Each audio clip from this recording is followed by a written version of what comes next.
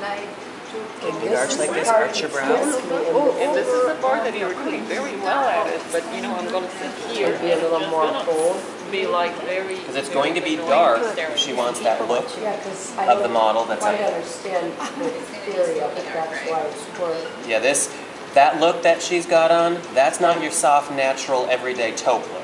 Okay. That's a smoky, No, no. little black oh, dress, Correction. you know, le, le petit robe blanc. That doesn't need to be a line. Oh, Built okay. right here. Oh,